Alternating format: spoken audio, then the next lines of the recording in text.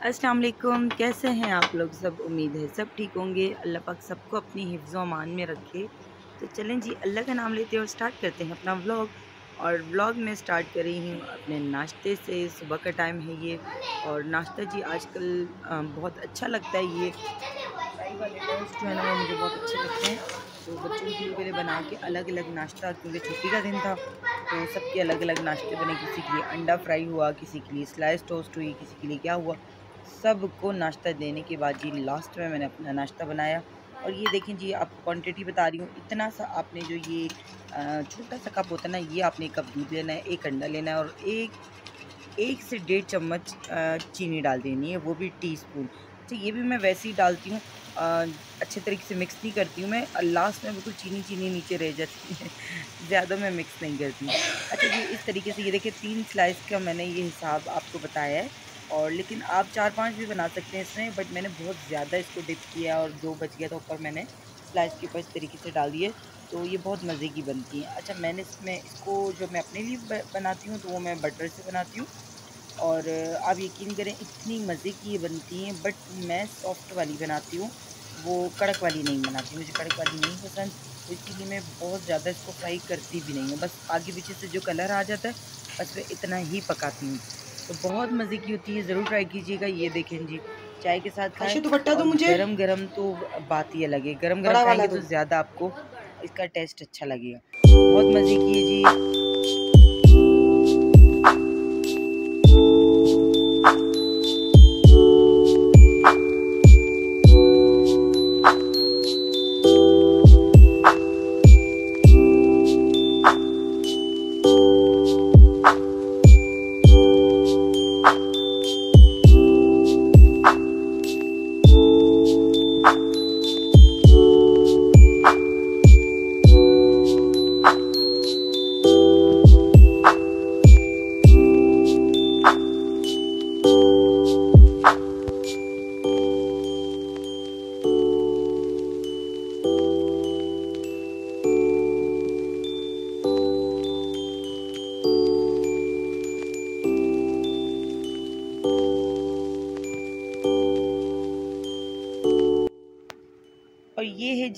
पिछले दिन का व्लॉग अगले दिन का, नहीं, पिछले दिन का। पिछला दिन मतलब जो जो गुज़र गया, वो पिछला ही होगा ना?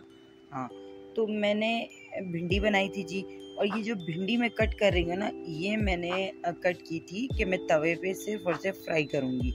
और इस शेप में मैंने कट की थी कि ये तवे पे फ्राई होंगी।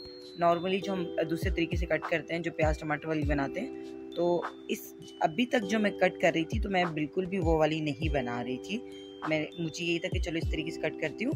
बच्चे तो ऐसे भी शौक से नहीं खाते हैं तो बस तवे पे फ्राई करूँगी ताकि जल्दी जल्दी बन भी जाए और सिर्फ़ जगह पे ख़त्म भी हो जाए सिर्फ़ हम लोग खा लें।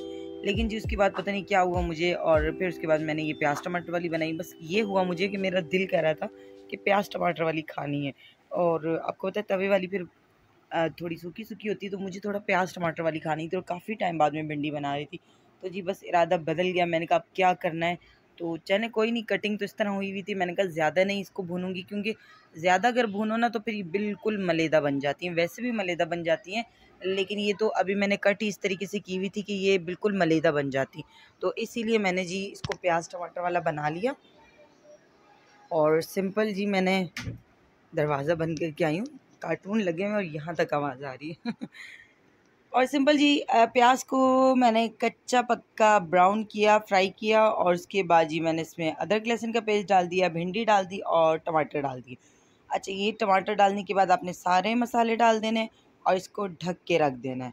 बस, और इसके बाद जी ये ख़ुद ब खुद जो है ना सॉफ्ट हो जाएगी, टमाटर भी सॉफ्ट हो जाएँगे। इसके बाद आपने दो तीन चम्मच लगाने और मसाले में वही नॉर्मल जो सारे मसाले डलते हैं, धनिया, ज़ीरा, नमक, लाल मिर्च, हल्दी, बस। सब्ज़ियों में कभी भी गरम मसाला नहीं डालते क्योंकि गरम मसाला डालो तो सब्ज़ियाँ काली पड़ जाती हैं। तो इसीलिए कभी भी गरम मसाला किसी भी सब्ज़ी में नहीं डालना। और ये जी मैंने बिल्कुल नॉर्मल फ्लेम पे इसको रख दिया बट इसकी नॉर्मल फ्लेम भी ऐसी होती है सिलेंडर की कि समझ नहीं आती है। नॉर्मल पे भी रखो तो चीज़ जो है ना लग जाती है जल जाती है। लेकिन चलें जी ये यहाँ हमारी रेडी हो गई है भिंडी। बहुत ही मज़ेदार सी बनी थी। बस तो आ, कटिंग जो है ना वो दूसरे तरीके से हो गई थी। बट कोई नहीं आ, टेस्ट अच्छा हो तो हर चीज़ खाई जाती है। और ये जी भिंडी फ्राई तैयार हो गई थी। इसमें मैंने लास्ट में हरी मिर्चें डाल दी थी बीच में से कट करके। दो दो करके बीच में से कट किए मैंने। और ताकि भिंडी का फ्लेवर भी मिर्चों के अंदर जाए। तो बहुत ही मज़ेदार सी बनती हैं ये और काफ़ी दिनों बाद खाओ ना तो फिर आपको बहुत अच्छी लगती हैं। और इसके बाद जी मैं आपको एक छोटा सा क्लिप दिखा रही हूँ, ये मैंने एक नेट पे, जहाँ से मैं ऑनलाइन चीज़ें मंगवाती हूँ, मैंने वहाँ पे ये प्लेट का सेट देखा है, मुझे बहुत अच्छा लगा। अब समझ नहीं आ रही थी ये मंगवाऊँ कि नहीं मंगवाऊँ, इसके साथ होल्डर भी था और आई थिंक ये दस प्लेटों का सेट है। तो चलें जी, देखती हूँ, अगर मैंने मंगवाया तो आपसे भी शेयर करूँगी। अच्छी लग रही थी तो इसलिए आपको भी दिखा दिया। और ये जी, अगला दिन स्टार्ट हो गया है। पिछला तो ख़त्म ना, अब अगला स्टार्ट हो गया नेक्स्ट डे स्टार्ट हो गया और ये जी मैं बना रही थी आज पुलाव। और पुलाव बनाने से पहले आपको पता है ये अच्छा ये जो सिलेंडर के जो स्टोव होते हैं ना, ये स्टील के होते हैं। अगर इसको हम लोग साफ़ नहीं करें ना तो ये स्टील जल जाती है। तो इसीलिए कोशिश करें हाथ के हाथ साफ़ करें। और इस पर बहुत मेहनत होती है। अगर ये जल जाए ना तो ये साफ़ नहीं होते हैं। तो मैंने जी इसको बड़ी मेहनत से, बड़ी अच्छे तरीके से साफ़ किया। जला नहीं था, बस इसके ऊपर पता नहीं दूध या चाय क्या घिर गया था, मुझे भी याद नहीं है। कुछ घेरा था और मैंने अच्छे तरीके से इसको वॉश किया क्योंकि खाना हम बनाते हैं और जब यही चूल्हा जब जलता रहता है ना तो कोई भी चीज़ घिरी हुई होती है, वो जल जाती है, वो साफ़ नहीं होती। तो पहले जी स्टोव क्लीनिंग की है और उसके बाद जी अब मैं पुलाव की तैयारी करती हूँ। यहाँ पे जी मैंने प्याज को रख दिया है नॉर्मल वही रेसिपी जो मैंने पहले भी बताई हुई है। और अच्छा आज मेरे साथ एक बहुत बड़ा हादसा होते होते बचा है, अल्लाह पाक ने बचाया है। और बताने का मकसद ये है कि देखिए जब भी कोई इस तरीके से हो, आप बहुत ख्याल करें, ठीक है? ख़ास तौर पर सिलेंडर, देखिए, मेरी किसी बहन ने पूछा था ना, आपको सिलेंडर से डर लगता है कि नहीं? मेरी बहन डर तो नहीं लगता था अभी तक बट अब लगेगा मुझे डर। अब मुझे ज़रूर डर लगेगा, क्योंकि, चले आगे बताती हूँ मैं, वो क्लिप आ जाए, फिर मैं आपको बताती हूँ। चलें जी, यहाँ पे प्याज को ब्राउन ब्राउन नहीं किया सॉरी कच्चा पक्का फ्राई किया, अदरक लहसुन डाला, और बीच में मैंने गोश्त डाल दिया। अब थोड़ा सा इसको मैं फ्राई करूँगी, ताकि इसका कलर चेंज है।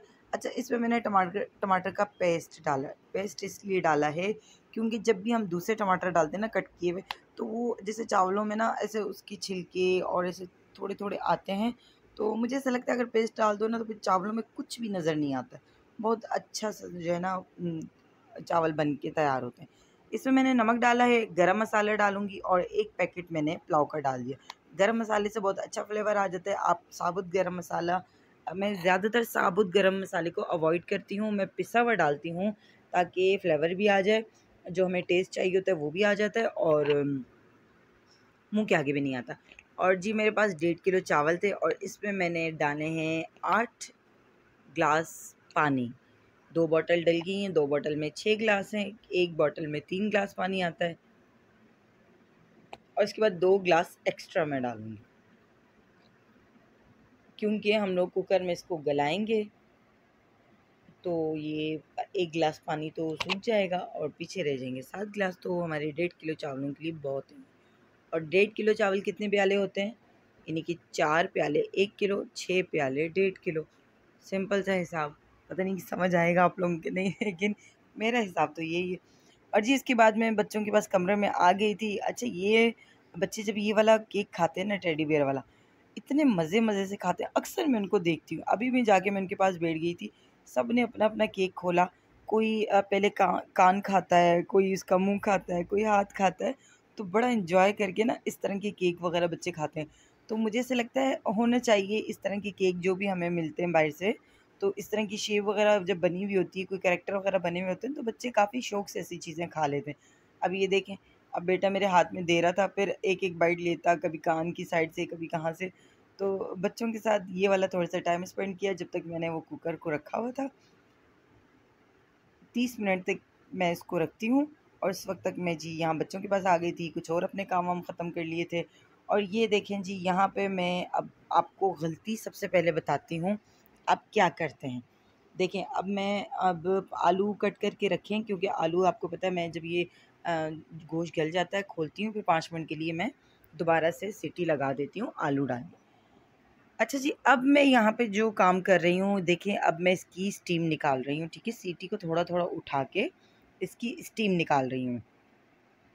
क्यों कर रही हूँ मैं ऐसा? क्योंकि मुझे बहुत जल्दी है, जबकि मुझे जाना कहीं भी नहीं है, मुझे करना कुछ नहीं बट एक काम की आपको एक होती है ना कि भाई जल्दी जल्दी ख़त्म करो काम को और जल्दी जल्दी खाना बन जाए और जल्दी से हमारा काम ख़त्म हो जाए तो बस ये वो काम है। तो इसलिए बोलते हैं जल्दी का काम शैतान का।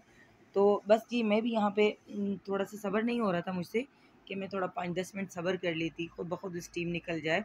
नहीं जी मैंने इसकी स्टीम पहले निकाली है अच्छे तरीके से ऊपर से सीटी भी हटाई है। हल्का सा भी मैं कैप खोलने ही लगी थी और एकदम से ब्लास्ट। ढक्कन उड़ा घेरा और ये देखें जी सारा जो आ, इसका पानी था गरीबी थी वो नीचे गिरा मेरे पाँव पे गिरा मतलब बहुत, ये थोड़ा सा भी जो मैंने क्लिप बनाया, इसीलिए बनाया, वरना तो इसके अलावा इतना उस टाइम पे ऐसी सिचुएशन हो गई थी कि कोई मतलब वीडियो रिकॉर्ड का नहीं था, बट मैंने ये छोटा सा जो जो नीचे सारा मैस हो गया था, उसका क्लिप इसलिए बनाया ताकि जो मुझसे गलती हुई तो वो मेरी कोई भी बहन गलती ना करे। और उसके बाद ये दोबारा जब मैं भी आई हूँ, पूरा दो घंटे मुझे लगे इसकी सफ़ाई में, पूरा किचन मैंने धोया, साफ़ किया, सिलेंडर धोया स्टोव धोया, सब कुछ साफ़ किया एक एक चीज़ को क्लीन किए सरफ से धो के सब कुछ, कितना टाइम लग गया और जो कितना मतलब मेरे लिए एक डेंजरस काम हो गया था, मेरी अपनी छोटी सी गलती की वजह से कि मतलब स्टीम जब तक आप कुकर से पूरी ना निकले ना, आप सीटी हटाने के बाद भी दस मिनट तक आप कुकर को छोड़ दें। और इन नेक्स्ट टाइम तो ऐसा नहीं होगा ज़ाहिर और इसके बाद जी फिर ज़ाहिर खाना तो बनाना था, और इसके बाद बस पता नहीं कैसे खाना बनाया मुझे ख़ुद भी नहीं पता। और जी, बस खाना तैयार हो गया था और ये हमारा पुलाव भी रेडी हो गया था, बड़ा ही ख़तरनाक वाला। तो ये थी मेरी आज की वीडियो उम्मीद करती हूँ कि आप लोगों को पसंद आएगी। तो प्लीज़ मेरे चैनल को लाइक करें सब्सक्राइब करें और आज आप लोगों के लिए एक रेमेडी भी मुझे डालनी थी बट मैं नहीं डाल सकी। ग्लास स्किन की बहुत ही प्यारी रेमेडी है। इंशाल्लाह नेक्स्ट टाइम डालूँगी। अल्लाह हाफिज़।